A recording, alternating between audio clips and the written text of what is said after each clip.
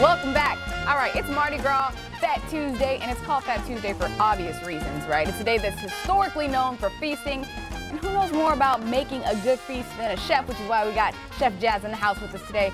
I am so excited because it smells so good in here. Like, seriously. So, what are we whipping up today? All right, so we have the Creole crab cakes going mm -hmm. with a citrus aioli. And then yeah. we're also doing a Cajun shrimp with smoked Gouda grits. you are speaking all of my languages.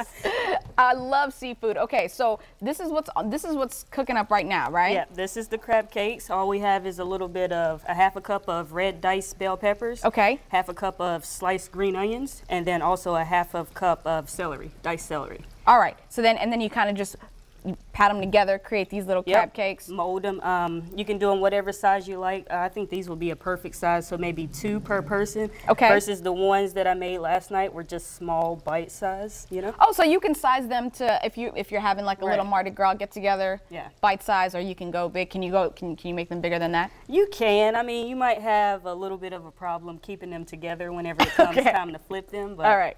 So got it. Don't go overboard on the size. Right. So about how long does it actually take? I mean, between prep time and this to get these these bad boys uh, looking like those finished ones over there?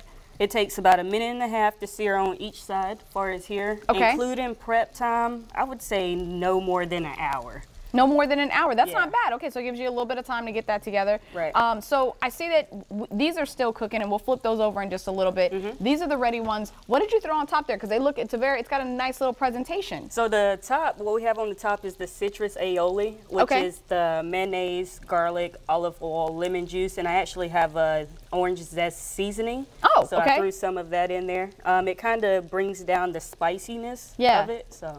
Okay. Now, you put a whole Cajun twist on this other dish. It's the shrimp and grits. Right. Okay, so tell us a little bit about that. All right, so the shrimp and grits, I pretty much just made a Cajun seasoning. Oh, so yeah. So we'll throw some more in the pan here. Very nice. Just tossed it in there.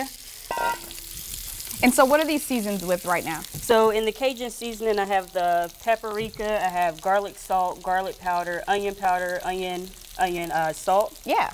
Uh, just a little bit of black pepper, and that's it. Oh, that looks great. Okay, so and then, so what, how did you put that, that twist on it, on the, the shrimp and grits? Like what, what took it from just being shrimp and grits to Cajun style shrimp and grits? Well, it was the seasoning for the shrimp. Okay. So I just made my own Cajun seasoning. Gotcha. There's actually places that sell it. Okay. And I'm sorry I forgot to mention the cayenne uh, season that I have in there. Ah, so. okay, okay. So then you saute this up. Yes, ma'am. Throw it, throw it together with the grits. Yes. Do, do you do anything specific with the grits? Well, I cook the grits. I started in water at about eight ounces of half and half, which you can also use heavy cream. Okay. Let that.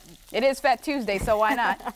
I let all the um, all the liquid dissolve into the, yep. the grits. At the end, I added the smoked Gouda, just shredded Oh, you got some smoked Gouda in there. So this is the finished product over here. Yes. Y'all. And then, of course, I topped it with bacon. Bacon, it makes everything taste better, so. Those are facts right there. Okay, so we got a little bit of bacon, some shrimp. And so I mean, these two kind of pair nicely together, right? Right. All right, Chef Jaz, I appreciate you whipping all this stuff up in here for us. And where can people find more about, you know, your cooking? I would say check out my Instagram at Chef Jazz 12 Okay. You can also find me on Facebook, just Jaz Moore. And from there, you can send me a private message in case you wanted me to cater a special event that you have coming up. Yep. And then my website is also under construction right now. I give it about two more weeks and it'll all be right. up and running. Sounds good. Thanks so much. You guys, thanks so much for stopping by, Chef Jaz. And you guys can get a second